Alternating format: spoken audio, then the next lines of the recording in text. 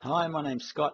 Uh, a lot of people have asked me about my pizza oven build uh, and wanted photos and videos and that sort of thing. So I thought I'd put together this video for YouTube uh, to let people know how I made it. It's basically um, a mortarless pizza oven. Uh, there's only a little bit of mortar used on the front. Um, this is where I put it. It's just uh, in my backyard. I found a spot, uh, formed up the um, concrete base and put some reinforcing steel in. It has to be pretty strong, um, the base, to, to, hold all the weight of the pizza oven. Uh, that's the picture of the base with the um, concrete in. Uh, I've used these Adbri masonry uh, concrete blocks. They basically just slot on top of each other and then you core fill them um, once the, uh, the blocks are set in position. You don't have to use mortar in between the joints. That's the beauty of them. They're quite easy to put together. You can see the reinforcing uh, bar uh, along the, uh, the blocks there as well. Basically uh, set those blocks up in a U shape and um, put some more reinforcing bar on top for um, a suspended slab which will, will form the, the, top of the uh, basically a table top for the base. Got some formwork going around the blocks to make the top, also some more reinforcing mesh and um, some plywood uh, underneath um, that will be the, the base or the underside of the top. You can see the core fill there on the um, on the blocks um, that was done previously. So that that's set for a few days before uh, I was ready to uh, pour the top slab.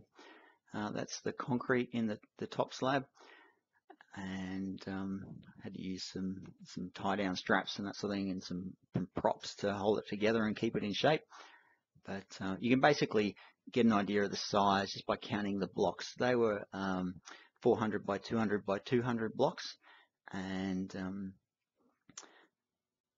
you can uh, see it's um, you, you, get an idea from the, the, size from looking at those. Next step was laying out the uh, clay bricks. Um, so I've got some dimensions here. You can read off the tape measure. Um, it was 600 by 900 the uh, uh, millimeters the uh, base and about 400 or so high. Uh, it just uses standard clay house bricks. So um, if you want to replicate this project yourself, you can count off the bricks and get an idea. That's um, basically marking out the size of the arch because I had to uh, cut out a plywood um, support uh, frame to uh, to rest those bricks on while I was um, putting the the arch together. Uh, basically, the arch uh, is the only bit that I really mortared in. Uh, I used this mortarless design because I wasn't sure if the the clay bricks were going to be any good. Basically, um, they're not proper fire bricks. They're just normal house bricks that I got from a friend of mine. And I didn't want to spend hours um, uh, mortaring in beautiful uh, arches for the bricks just to fall to bits. It's turned out they've, they've, been pretty good, these bricks, and they've worked well. Uh, you can see in these photos, um, I've sort of set the bricks out. Um, I used the steel lintel there to um, to make the doorway. And I've also used, I think that's about three mil thick, that steel, and um, I've these three mil thick uh, equal angle bars. I think they're three mil by 25 by 25. So you use two of those um, for each uh, beam effectively that goes across the top to form up the roof. So these bricks are just sitting on top of each other um, and they're just resting on each other of under gravity. There's no mortar used. Uh, it's a view from the inside looking up. And you can see the, the roof of the, um, the oven there. Um, we've got just the steel beams.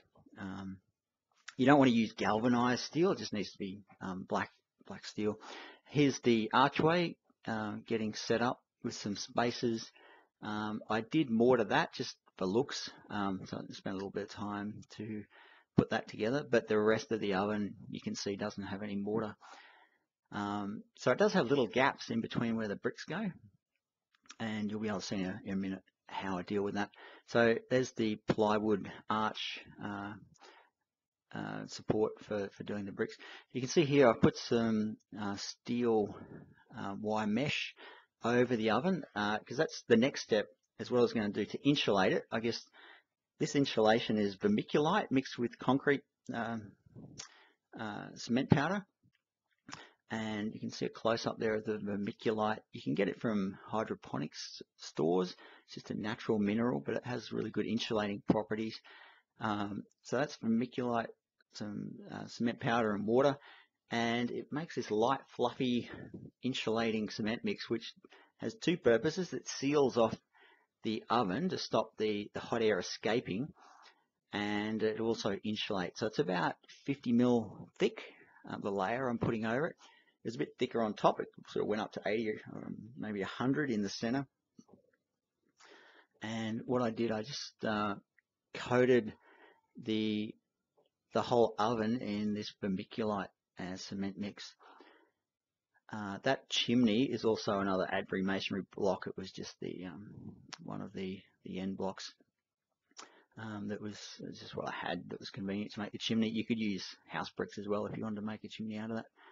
Um, next step, once all the vermiculite was on and uh, had dried, I put some chicken wire mesh over the oven because uh, the next step was to render it. So that was to protect the vermiculite, which sort of isn't very strong.